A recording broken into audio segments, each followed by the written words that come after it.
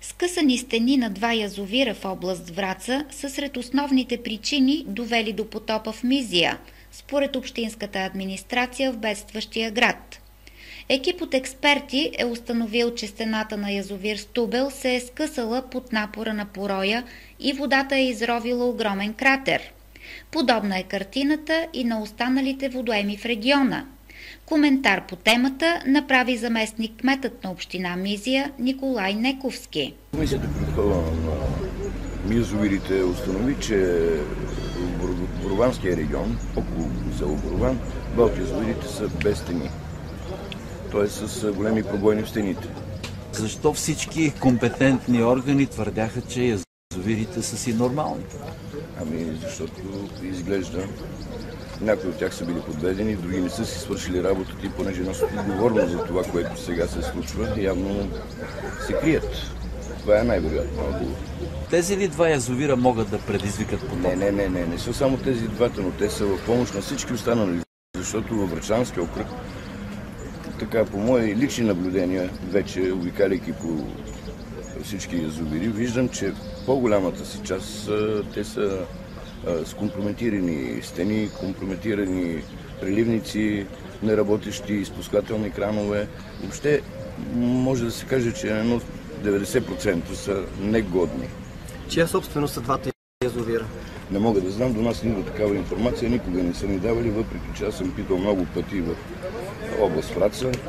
Не ме включиха, вие знаете, в комисия, която трябваше да се стои между 12 и 15 май, да мога да наблюдавам под предлог, че на, на територията на нашата община няма язовир. Макар, че ние винаги сме потърпевши от всички язовири, които се втичат в река Скът. Това е най-долното течение на река Скът. Скът е една много малка, много бавна рекичка, много приятна река, но зависи кой как я експлуатира и как я ползва и кой, ако не се довериш на реката, и тя не се доверява на теб. Като финал, а, водното бедствие е човешка грешка в Мизия, така ли? Ами, това е комплекс от грешки. Може би не на един човек човешка грешка, да. Най-вероятно дъжда е помогнал, естествено. Но никога от дъжда не би станало това. А, този ад, който настъпи, този ужас, който беше в мизия, не може да стане само от дъжд. Аз съм абсолютно сигурен и категоричен. А можеше ли да се предотврати потоп? Разбира се, че можеше да се предотврати това, което аз отдавна и не само аз, най-напред кмета на общината им предложи още преди 3 години всички тези язовири по поречието на река Скът, които са каскадно свързани, да се източат буквално на кота да се направи профилактика на стени, на всички техни съоръжения и тогава след комисия нарочно назначена от който и да е отговорен орган, компетентен орган, да провери, да изследва и да започнат да се пълнат до необходимото количество, което те съобразно закона трябва да, да бъдат. Кой не си свърши работата? Ами, за държавните институции в област Враца отговаря областта. Кой точно от областта не си е свършил работа, не знам. Но това е представителството на държавата в нашия окръг, в нашата област. Така че те трябва да кажат какво се случи и какво става. Към днешна дата, 10 дни след потопа, каква е ситуацията в град Мизия? 10 дни след потопа ритмично върви работата. Тук е мястото, може би, да кажа, че а, генерал Николов, комисара, както и генерал Василев, а, както и хората от полицията, от жандармерията правят всичко възможно да може да, предотвратят последствията от това наводнение тежко, защото ние без тях не бихме могли да се справим. Това е съвсем ясно и категорично го казвам. Хората на пожарната и гражданска защита с тези двете служби малко ги бъркам, но така или иначе без тях не можем да се справим и те са абсолютно точни, работят.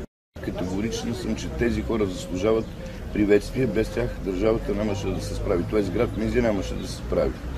Тези помпи, които те са купили, са нещо прекрасно, с голям дебит на смучене на вода, на изхвърляне на вода. Така че ние сме благодарни на тези институции. А днес страда ли?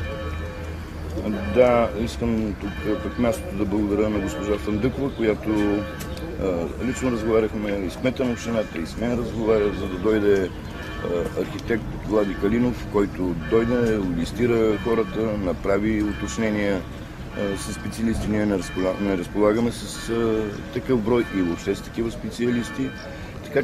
Че те днес най-вероятно ще минат да кажат кои къщи са годни за обитаване, кои, за обитаване, кои са годни след ремонт за обитаване, кои въобще не са годни за обитаване и пък нямат проблеми.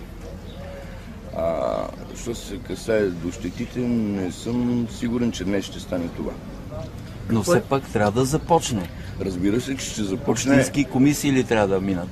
Разбира се, ще минат общински комисии, защото ние затова търсиме причината за това наводнение, за да можем да направим така, че на хората да се заплати не по данъчна оценка, която ще бъде около 1000 лева, поради ниската цена на данъчната оценка, аз 1000 лева не могат да се купат врата и прозорец. За едната стая пък те нямат къща, да кажем, или полуразрушена къща.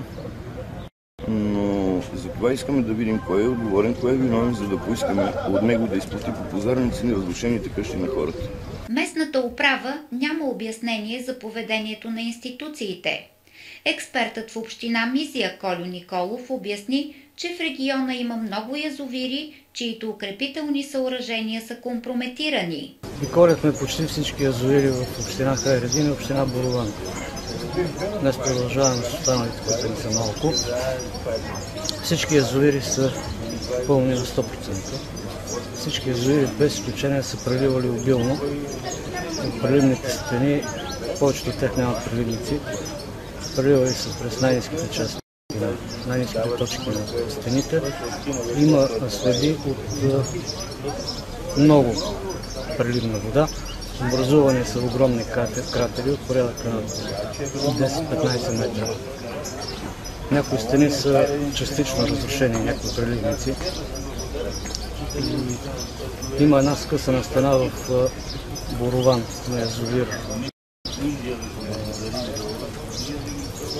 Стубел.